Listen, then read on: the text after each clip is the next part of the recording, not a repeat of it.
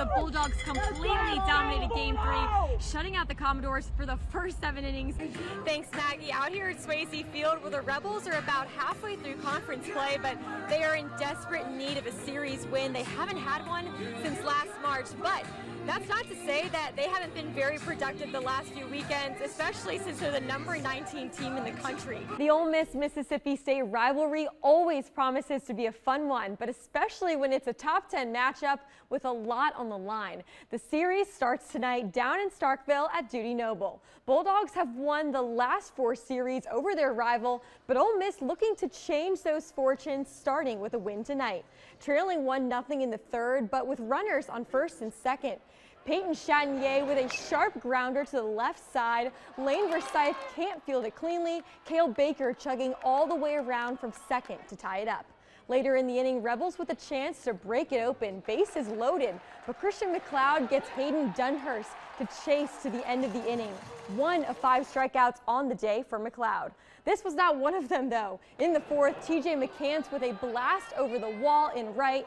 Solo shot puts the Rebs up 2-1 for their first lead of the day.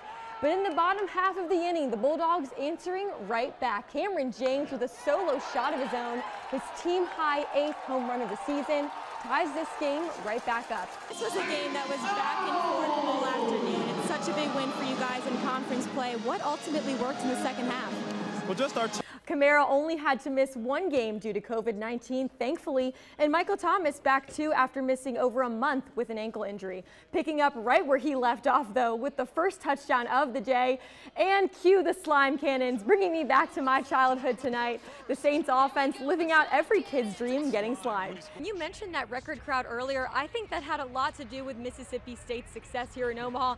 I mean, it was truly incredible all you could see in the crowd was maroon and white shirts everywhere. You could hear them loud and proud. That field a very special place with one-of-a-kind energy and, of course, one-of-a-kind fans. One of them being the Candyman. If you've been to a game in Starkville, he's impossible to miss. Also known as Ron Caulfield, he makes his rounds all around Dudy Noble, giving out candy to fans big and small. You guys were talking about his impressive 40 time at the Kennesaw State Pro Day, so here he is. I'm down here with Darnell Holland, and we're going to do some fun rapid fire questions. Darnell, are you ready? And of course, it's tailgate time. I'm joined here by Tracy and Pete. Now, Tracy is actually from Jackson, Mississippi. Pete is from right here in Omaha, Nebraska, and they've been friends for over 10 years. After a thrilling game yesterday, Southern Miss forced the Oxford Regional to a final game with Ole Miss to happen today in a winner take all. After a few rain delays, this one is turning out to be another crazy one. Let's send it out to Trey Mongrue out in Oxford. Trey, how much fun are you having at Swayze Field right now? Ole Miss giving the world a free bloomin' onion today, so it's not just the Rebels enjoying the victory, but us here at WLBT too the chance to make a statement on ESPN, but most importantly, the chance to get back in the win column after two weeks. The Tiger offense took nearly the entire first half to get anything started, and when they did, things were few and far between. Jackson State baseball team went into this year wanting more. After last season was canceled due to the pandemic, they wanted to make this one count. Before they knew it, the Tigers were on their way to an undefeated conference season. And then they did that. That quickly became a distant memory heading into the SWAC tournament because their 24-0 record doesn't really matter unless they finish the job. Today, one game stands between them and a perfect season, the championship. So what was your initial reaction when coach said, Santa, you're in? That was coach Robbie's response when I asked him what it would mean to be able to win a state championship for Officer Ray this year.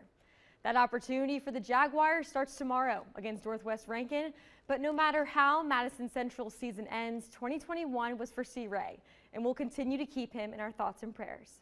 Well, if you know anything about Coach Prime, it's that he does not lack confidence. And with yesterday's win over Grambling State, that's now true for his team as well. Coming into this matchup, Grambling had not lost a game at home since 2015, and JSU had not beaten them in nearly 10 years. Talked about earlier just how resilient these Bulldogs have been all year. And look at them now. It's been such an exciting one for state fans. And hey, we talked to head dogs coach Chris Lemonis. Yeah, dogs in three. Dogs in go. three. We talked to head coach Chris Lemonis after the game last night. He just wanted the team to be competitive, and I'd say that's exactly what they're doing right now. One adjustment so far started at quarterback. Quincy Casey will get the start for Saturday's homecoming matchup against Alabama A&M.